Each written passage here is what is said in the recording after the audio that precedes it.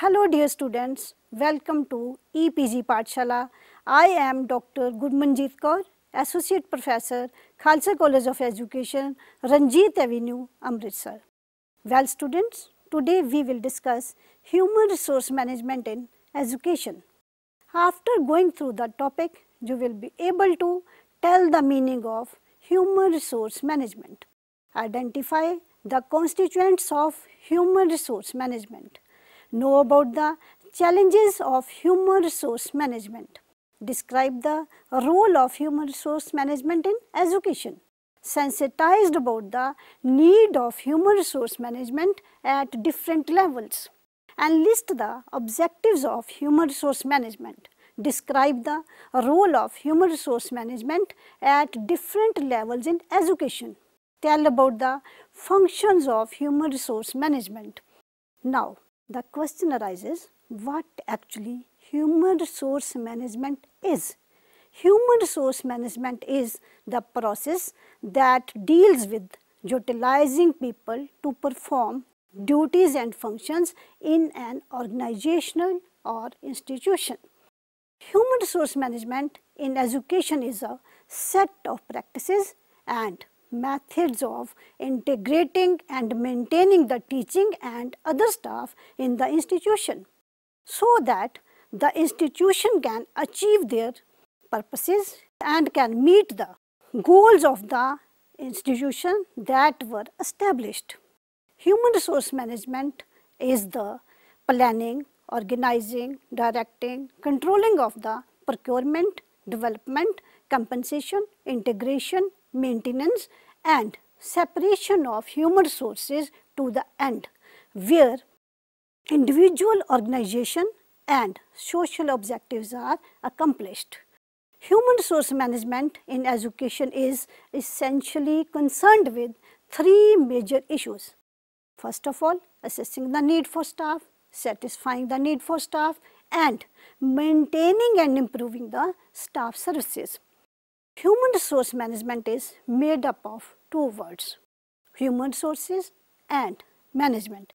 Human resource refers to the personnel, staff or workers in an institution. Management means the methods by which the leader utilizes material and human resources to achieve predetermined organizational goals.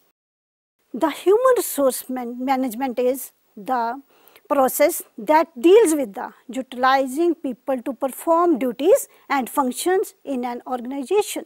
Human resource management deals with the establishment of procedures for the employment and payment of workers or staff. It is the arrangement of conditions which make possible greater self-direction by staff in the performance of their duties.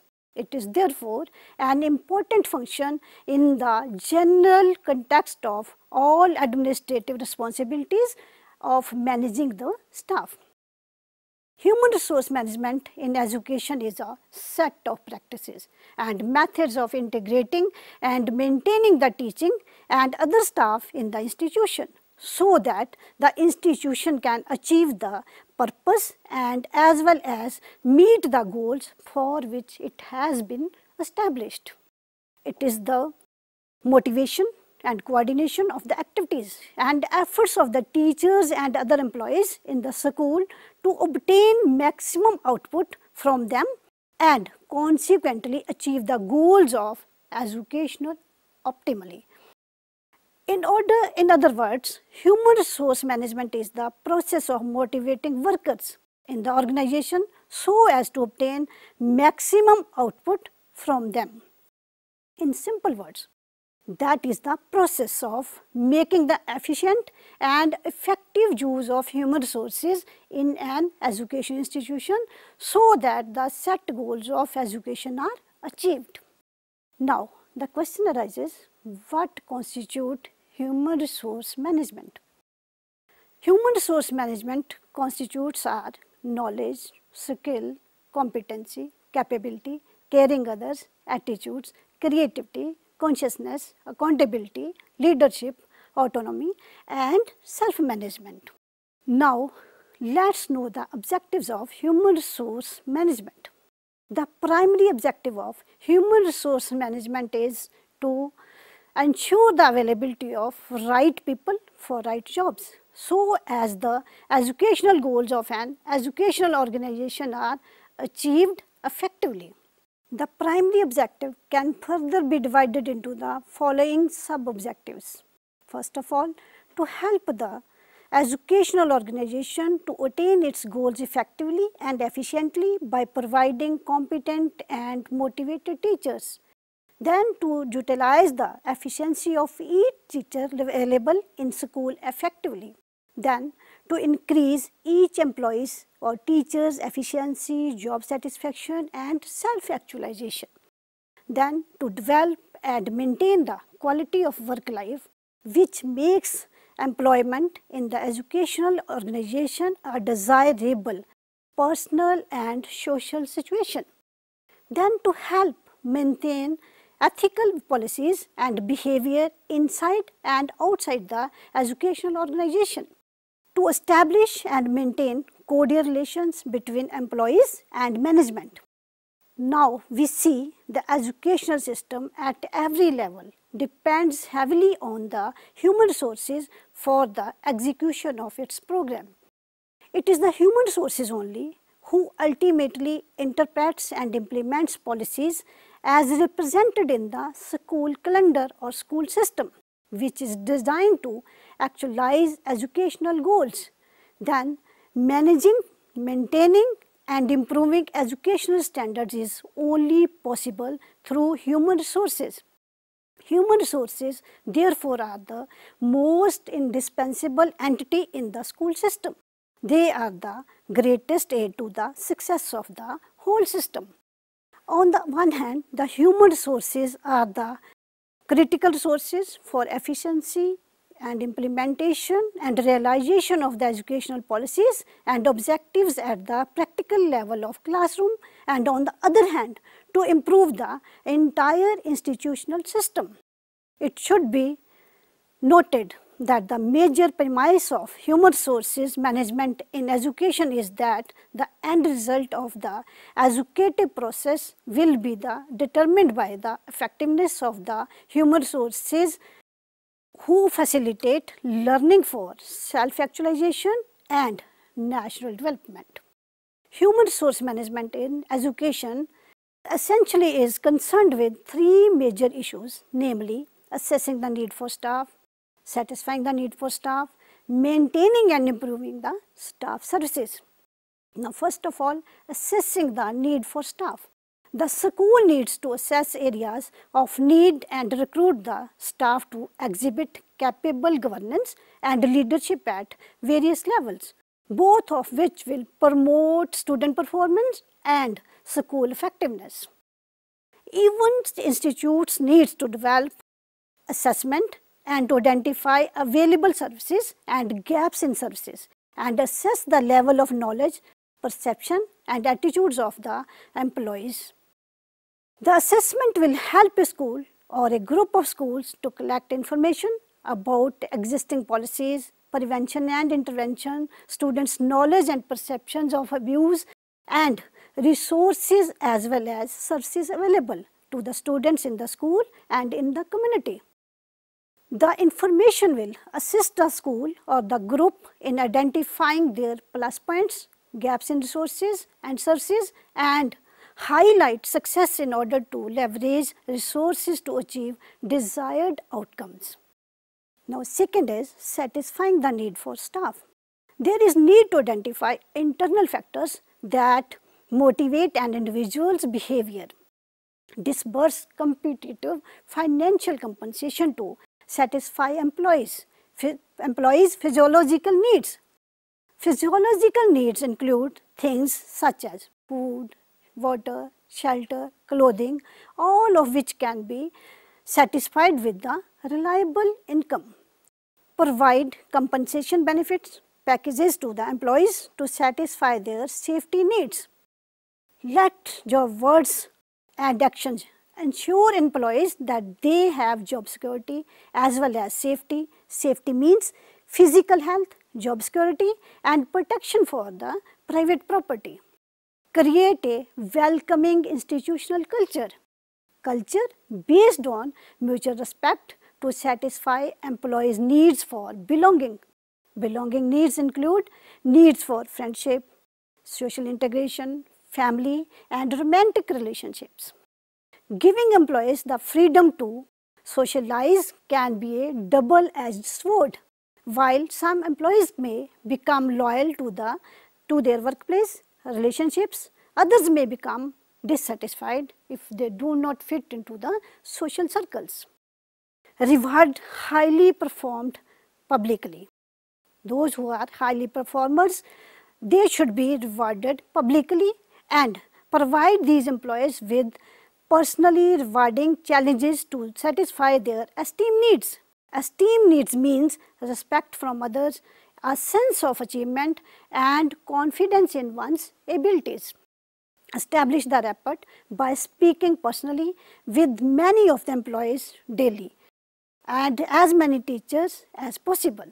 Encourage employees and the especially the rising stars in the institute for their outstanding achievements. Institute comprehensive employee development programs and provide ample opportunities for them for their growth and the institution to satisfy their self-actualization needs. The last one, maintaining and improving the staff services. The ideas are intended only in to illustrate some of the measures that may be taken by the service organization in practice. There is often overlap between the actions and practices in each category and a number of other possibilities may be considered. Now, we will discuss what role is played by human resource management in education. The goals of human resource management in education are to develop the employees and to contribute to the achievement of goals. Human resource management have some specific roles to play that are strategic and operational roles. Now, first of all, the institutions need to perform both types of roles to ensure that they have the right staff with the right skills and abilities, knowledge and the right time to complete work for the institution. This allows the institution to achieve its goals and objectives. As far as the strategic role is concerned, it involves the functions and implementation of major goals and initiatives taken by an institution for the top management on behalf of owners or local heads in the consideration of resources and assessment of the internal and external environments in which they are working. Strategically, human resource must be viewed in the same context as the financial, technological and other resources and are managed in any organization. The strategic human resource management staff performs a planning role that focuses on the long-term interests of the education. As far as the operational role is concerned, it is when the human resources functions to for the employees day-to-day -day work. It includes maintaining policies and records, ensuring compliance to the local, state and national regulations and managing discipline related disputes and complaints. In the operational human resource management, professionals handle day-to-day -day tactical operations. It has been seen that human resources were once relegated to second class status in the society. But in these days, its importance has grown dramatically in the last two decades. This is right way that can make them committed to the job, remain dedicated to the institution and productive in the educational system only then they can represent a significant investment of the educational efforts. If managed well, human resources can be a source of competitive input for the education. One more operational human resource task is associated with the recruiting and training of employees. Now, no doubt the institutions used to ensure they have the right staff with the right skills and knowledge at the right tune to complete work with the quality in education. This allows the educational institutions to achieve its goals and objectives. Human resource management is interested in the compliance with equal employment opportunities and observation of laws in educational sector. Safety problems must be resolved, wages and salaries must be administered, a wide range of activities typically associated with the day-to-day -day management of people as provided by the laws and regulations must be performed efficiently. It is this collection of activities that has often been referred to as the personal functions. In short, it is difficult to produce one general interpretation of what human resource management means today. Human resource management has to perform certain functions. These are staff maintenance, staff relations, staff development, procurement of staff, job performance reward. First of all, staff maintenance. This is done to make the work environment conducive for workers. Pertinent practices include promotion and transfer, motivation, staff safety, security and health services. It is pertinent that educational establishment have sound policies in respect of staff transfer and promotion to ensure that justice and fairness prevails in dealing with the staff. As work to be performed in the school is important, the mood of the man to perform the job is equally important. For maximum and productive goal attainment, the educational organization had must ensure the comfort and happiness of the employees that can be done through prompt payment of salaries and ensuring a safe and healthy working environment. Staff relations there must be a good communication network in the institute to enable teachers to be constantly informed of the progress being made in the educational organization. Teachers, employees should be encouraged to participate in planning, decision making in the school. They should be encouraged by recognizing the staff as a human being with feelings, interests, needs and emotions and treating them as such with fairness and respect. Staff development. This is the process of appraising staff performance and identifying their key skills and competence, their need development or training to improve their skills for better performance. It involves providing development programs and training courses that are suitable for the institution. The success of educational organization hinges on the number and quality of its staff members. There is need to change, improve and grow continuously in competence. This can be done through in-service training, conferences, workshops and seminars. Procurement of staff. Human resource management functions staff with the process of recruitment and selection by which educational institutions get the best personnel to interpret and implement the curriculum programs. Staffing of school is a job performed by the Ministry of Education through its agencies working in the federal and state governments. Procurement of staff in education deals with obtaining people with appropriate and necessary skills abilities, knowledge and experience to fill the vacant teaching posts in education. Staff performance would increase substantially if they are adequately compensated according to the quality and quantity of work done. Last one is job performance rewards. This involves the design and administration of rewards for jobs performed. It is very important that Management Ministry of Education and its agencies take the issue of reward system very seriously.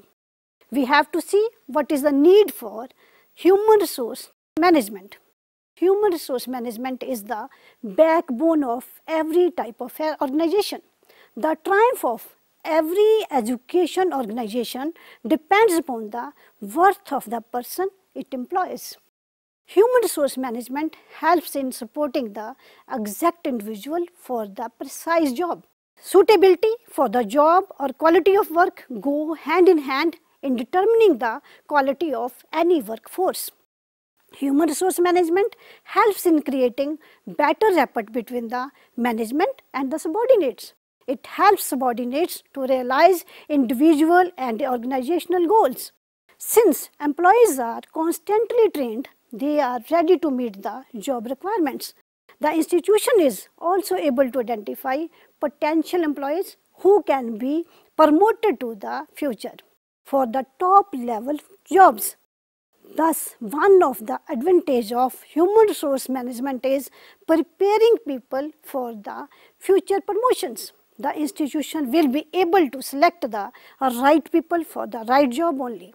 If proper selection and recruitment procedure is followed, it has been seen that less number of people leave the educational organization what they are when they are satisfied with their jobs. When proper human resource policies are adopted and employees are trained well, this makes them not only satisfied but also ready for the future promotions. Their talent can be utilized in their organization in which they are working as well as in other institutions. Political philosophy has undergone change all over the world. The new approach is to develop human resources properly for making it its better use. The technological changes have necessitated the use of sophisticated technology. Now, the question arises how to manage human resources. These can be managed at four levels that is at national level, organizational level, professional level and personal level. At national level, these can be managed by creating conducive conditions for development of the nation by providing suitable means for exploitation and utilizing nation's natural, physical and financial resources required for efficient and committed manpower. Then by facilitating and generating high standard of living through inculcating such skills, attitudes and values that are needed to speed up the process of economic and educational growth. As far as the organizational level is concerned, Human resource management is relatively a new approach to manage people. People are considered the key resource in this approach. It is concerned with the people's dimension in the management of an institution. Since an institution is a body of people, their acquisition, development of skills, motivation for higher levels of attainment as well as ensuring maintenance of their level of commitment are all significant activities. Human resource management is responsible for maintaining good human relations in the institution. It is also concerned with the development of individuals and achieving integration of goals of the institution and those of the individuals. Professional level. Effective management of human resources helps to improve the quality of work life. It permits teamwork among employees. By providing a healthy working environment, it can contribute professional growth in the following ways. First of all, providing maximum opportunities for personal development of each employee, then maintaining healthy relationships among individuals and different work groups, then allocating work properly, then last one is the personal management. This part of management is concerned with the people at work in an institution. Individuals need to develop their relationship within the institute. Its aim is to bring together and develop into an effective institution of the men and women who make up for the institution and have regard for the well-being of the individuals and of working groups to enable them to make their best contribution to its success. Human resource occupies a central system in an organization. The function, the functional ability and efficiency of people in a subsystem of an organization heavily rely on the policies, programs and practices of the human resource management. Human resource being the central subsystem of an organization interacts closely and continuously with all other subsystems of the organization. The other subsystems are financial subsystem, material subsystem, marketing subsystem and technology subsystem etc. So, we can say that human resource system is an organization is not only unique subsystem but also a principal and central subsystem and it operates controls upon of all the other subsystems. Now, let us know that how the role of human resource has changed from conventional to modern one with the passage of time. There is a paradigm shift in traditional ways to manage humans and to the modern approach. In the traditional time, focus was on the administration. Now, emerging human resource practices focus on strategies. Then, traditional human resource believed in reactive strategies, but now, proactive phase is the belief of an institution. Traditionally, human resource management believed in separation and isolation of the institution, but now institution believes in the key mission of the education. Now the focus is on the service, but traditionally focus was on the outputs of an employee. Traditionally, human resource functions were done with vertical lines of authority, but now work is done with horizontal responsibility. Traditionally, people were considered as expenses, but now they are the investments. Now the question is how to develop human resource management strategy for educational institutions. An institution has to follow some steps in developing human resource management strategy. Step 1 is get the big picture. How? Understand the global strategy. Highlight the key driving forces of educational sector that is technology, curriculum, competition and the trends etc. Step 2. Develop a mission and vision statement. Here institution needs to be know what are the demands of people, what is going on in the global arena, not to put off by negative reaction to idealistic outlook, what do the employees of institution contribute to achieve the mission. Then step third is conduct a SWOT analysis of the institution. How? Consider in detail the institution's current areas of operation, the service levels and competencies of staff. Then focus on the internal strengths and weaknesses of the people inside the institution. Consider the current skill and capability issues. Vigorously research the good external practices implemented in other institutions highlight the opportunities and threats. Then consider skill shortage, if any. The impact of new technology on the staffing levels, review the capability of institution. Step 4. Conduct a detailed human resource analysis. How? Concentrate on the organization's scopes. Scopes means culture, organization, people and human resource system. Consider of which level human resources are working in the institution now. Where do the institution expect them to be? What gaps exist between the reality of where they are now and where the institution want them to be? Step 5. Determine critical people issues. How?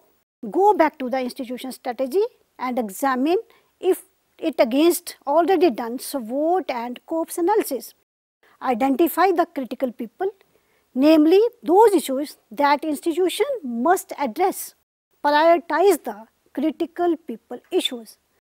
Then step 6, develop consequences and solutions. For each critical issue, highlight the options for managerial action.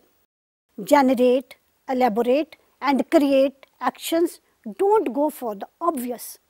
This is an important step as frequently people jump for the known rather than the existing options. And they try to do the things as they these have been done in the past.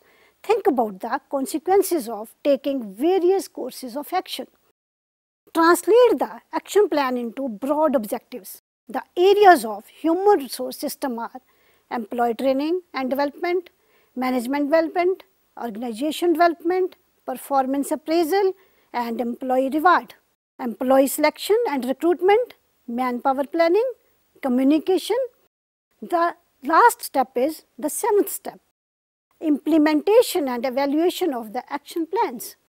The ultimate purpose of developing a human resource strategy should be to ensure that the objectives set are mutually supportive so that the reward and payment systems are integrated with employees training and career development plans. To sum up, we can say that human resource management is the qualitative improvement of human beings who are considered the most valuable assets of an institution. The sources, resources and end users of the educational system and services. It is a scientific process of continuously enabling the employees to improve and up to date their present and future expected roles so that the goals of the institution are achieved in cost effective manner as well as needs of the employees are also met to an adequate extent. There is need to manage human resources at national, organizational, professional and personal levels human resource management has changed from conventional to the modern one with the passage of time. A paradigm shift has been observed in human management with time. In the global competitive times, every institution need to develop its own human resource management strategy. Thank you.